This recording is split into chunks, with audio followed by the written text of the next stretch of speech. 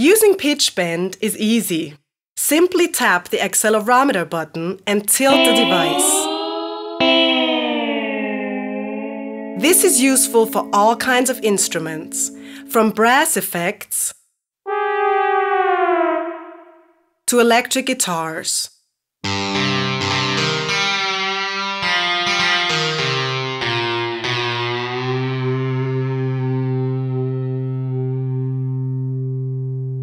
The most important setting is the semitone range, from one semitone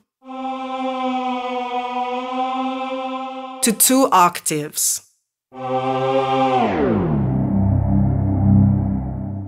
Also among the settings are axis selection and inversion. But the real innovation is adaptive calibration. Watch how each note starts at its original pitch, regardless of the device tilt. The override mode lets you pitch bend existing notes.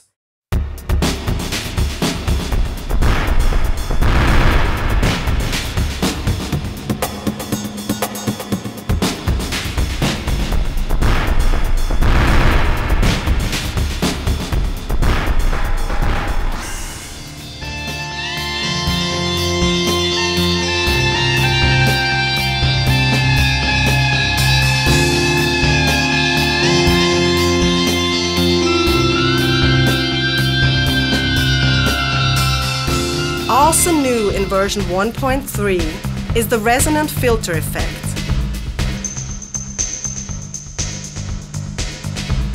Listen and enjoy.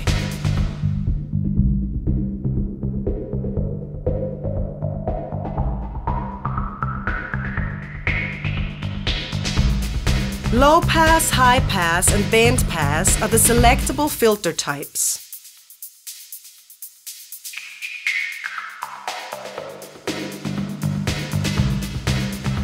Accelerometer control makes it even more fun and enables you to play while controlling the filter.